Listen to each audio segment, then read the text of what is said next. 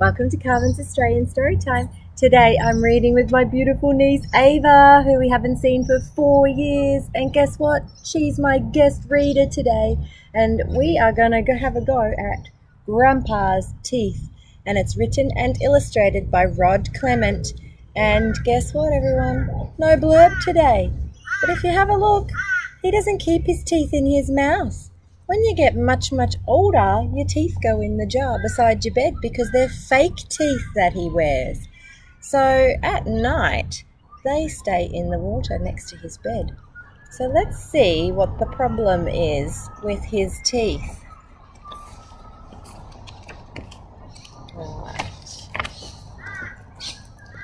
Help! I've been robbed. We heard a we heard Granddad shouting.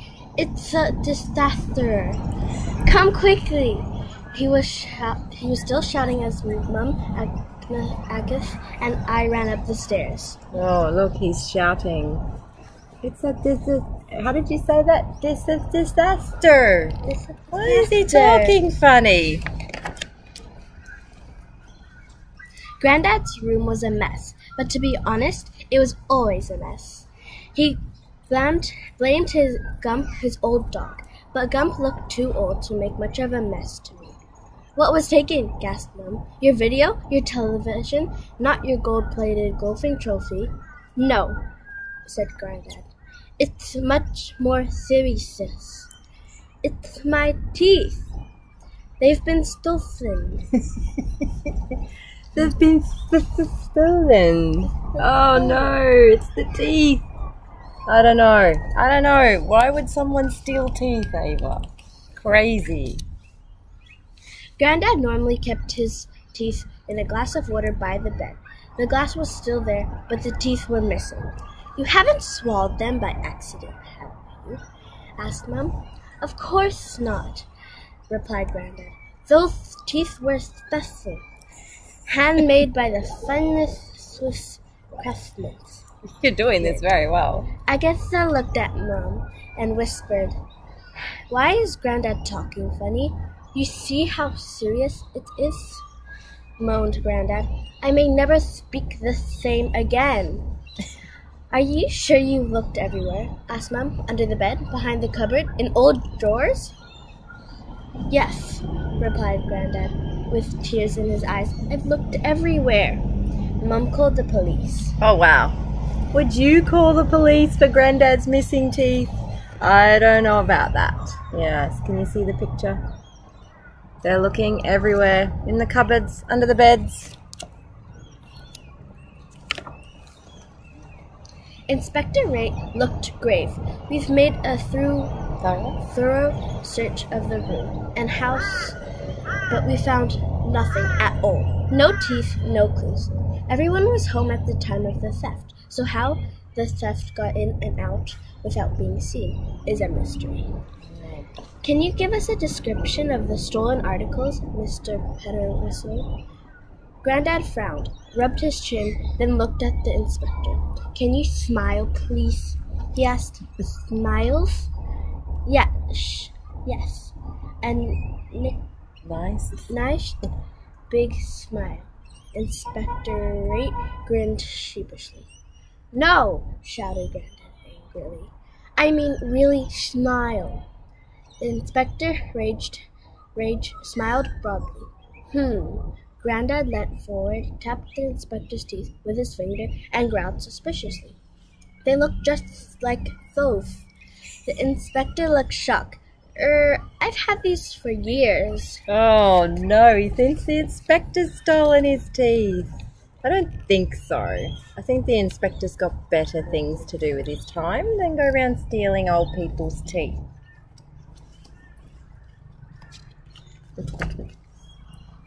The inspector took us all down to the station for further investigation. Using Granddad's description, the police artist drew a picture of the missing teeth. they put up our wanted poster with the others. We made copies and put them all over town. Oh, wow. Have you ever, ever been walking down the street and seen pictures of missing teeth? I don't think so. How ridiculous. Inspector Rate rounded up the usual suspects and took them in for questioning. All of them were asked to smile. Most of them had missing teeth as well, but just one or two, not the whole set.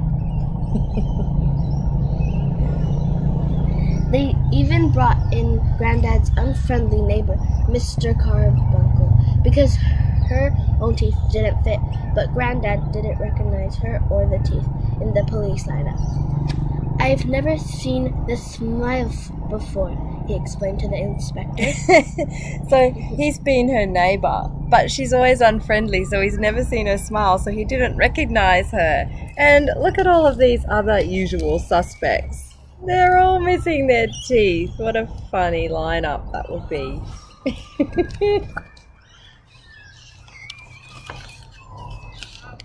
After several days, the inspector had to admit that no teeth have been found, no thief had been caught, and no clues uncovered. Granddad suspected everyone, especially anyone who didn't smile.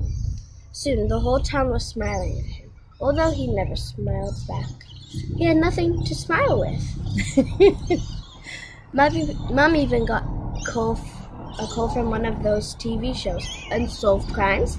They came to the house in a helicopter. We had to reenact the whole thing. When Granddad was interviewed, he asked the presenter, Pearl White, if he could borrow some of her teeth. After all, he mumbled, you have more than enough. Have a look at Pearl White's pearly white. she has a lot of teeth in that mouth. And look at those neighbours. He's not very happy about this situation. And have you noticed that Gump's always by his side? That's his dog. Yeah, interesting. Keep that in mind, right, Ava? Yeah. Dad rang Switzerland to find out how much a new set of teeth would cost. He was so shocked when he found out. He dropped the phone. The only way we could ever afford it, it, he joked to Mom, is to sell the house. What? Granddad thought this was a great idea. Who needs the house anyway? Uh, you do to sleep in, right? Yeah. It doesn't help you chew your food. To cheer him up, we all took Granddad to the fun park. It was a disaster. He took one look at the front entrance and burst into tears. oh dear. Look, What's at the front entrance, Ava? Teeth!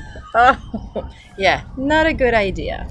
And that is a famous place in Sydney called Luna Park. Everyone watched unsolved crimes, but no one rang the inspectors, and the crime remained unsolved.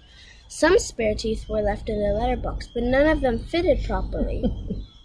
People began locking their doors at night, imagining a theft would lo- loose on the streets. No one knew who would be next. Fear gripped the town. The thief had to be caught, and soon. Mm. Um, look at some of those teeth, Ava. I'm not sure sharks' teeth are very helpful at this point. Nice of people to be considerate and send their teeth in for him, but yeah, some of those teeth what about the wind up teeth? No, I don't think I want those in my mouth chattering yeah. away.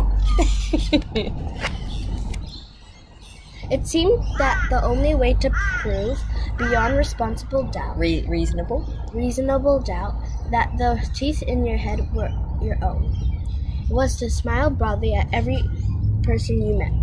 Anyone who didn't smile was immediately dragged off to the police station for more questions and a chat with the Inspector Ray. So everyone began smiling at everyone else all the time, everywhere, even at funerals. oh no! Imagine going to a funeral and everybody's smiling. Oh, and I don't know that that's what you're supposed to do at funerals when you're, you know, respecting the people who have passed away. Hmm, even the fish in the background is smiling. And the birds. and smiling. the birds, everybody's smiling, even the animals. Because of Granddad's teeth, the whole town was beginning to suffer. Tourists, seeing the endless sea of smiling faces, were too scared to get out of their cars. After a while, they stopped coming all together. Dad's cafe, like the rest of the town, was losing business. The mayor called an emergency meeting. Oh boy. This is getting pretty serious when you've got people visiting town and they think you're all creepy weirdos because everybody's smiling. Oh boy.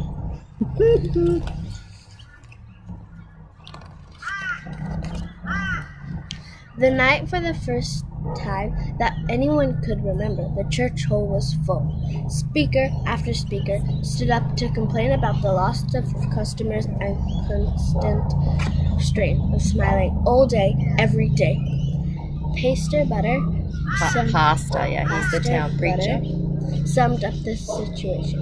While I've while I've always consider, considered this smile this hap- a happy town, there are limits. No one wants to smile without a reason, and, there are many reasons to smile in this town at the moment.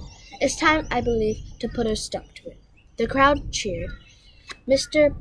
Whistle had one of the finest sets of teeth in the country, and he alone couldn't afford to replace them. In fact, I alone could not afford to replace them. But if every one of us put one dollar in the collection plate tonight, we would have enough enough money to buy two new sets of teeth. Most people put in a dollar, others put in two. Oh boy. This is a good way to solve the problem, but I think this is a crazy problem. A crazy, crazy town, this is. Very nice that people are generous and kind. At the pres- presentation ceremony, Granddad opened the parcel and received revealed two sets of brand new teeth. Look at the camera crew there. Why are they different sizes? asked the mayor. Oh, only one of them is for me, replied Granddad, popping one of the sets into his mouth. The other one is for Mrs. Crun- Carbuncle? Carbuncle. Her teeth never fitted properly, and she and she has such a pretty smile. Ah, that's a kind thing to do. Got a set for Mrs. Carbuncle so she can smile properly and smile maybe a little bit more. Yeah. Yes, I love there's a camera crew there for teeth. Also, the this looks like teeth. Oh, yeah, it does look a bit like teeth, yeah. Granddad was very happy with his new teeth. So was Mr. Mrs. Carbuncle. They smiled all the time. In fact, they were so happy that Granddad's old dog Gump smiled too. Hmm, now, I've been watching Gump through this whole book. And have you seen him smile yet? No. No, I haven't seen him smile yet either. So let's see. Hmm.